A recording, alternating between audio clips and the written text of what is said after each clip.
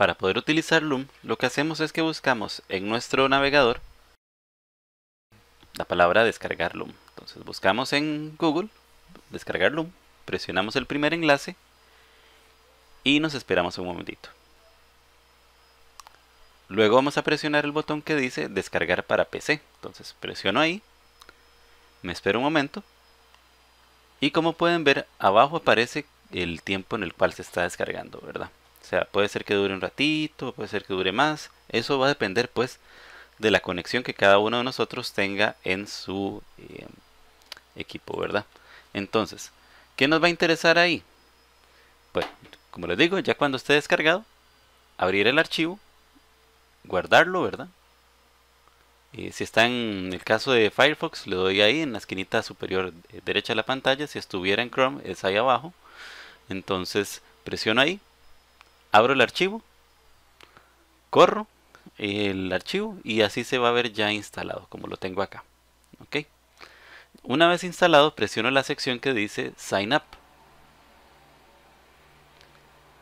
Y en Sign Up voy a presionar la opción que dice eh, correo. Entonces, selecciono ahí y completo mi correo. Ok, entonces em, es importante tal vez eh, mencionar que tanto aquí como en la plataforma Loom yo puedo ingresar con, con este correo y esta contraseña, ¿verdad? Recuerden nada más que eh, para administrar esos videos tienen que presionar donde está lo de Loom, ¿verdad? Allá en pantalla donde dice eh, Sign In, una vez que ya han creado la cuenta, ¿verdad? Entonces, ya aquí creada la cuenta, lo que hago es que presiono que uno no está en una compañía, el botoncito que está ahí abajo, luego selecciono la opción que dice explicar algo, y le presiono el botón Let's Go, ¿verdad? Luego siguiente, siguiente, siguiente. Y empezar a grabar.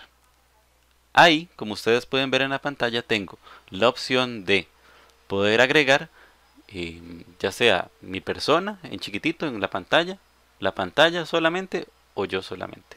Yo recomiendo que se grabe en 720p, ¿verdad? Para que les quede bien bonita la calidad de imagen y listo, ¿verdad? Entonces, cuando empezamos a grabar, se presiona nada más empezar a grabar, ese botón rojo que está ahí abajo. ¿Ok? Entonces, se presiona ahí. Él ahorita me va a tirar un conteo. Bueno, presiona primero ese botón. Tira el conteo. Y al finalizar ese conteo, puedo empezar a grabar. Entonces, todo lo que estoy haciendo ahí, justo en ese momento, ya está siendo grabado. ¿Ok?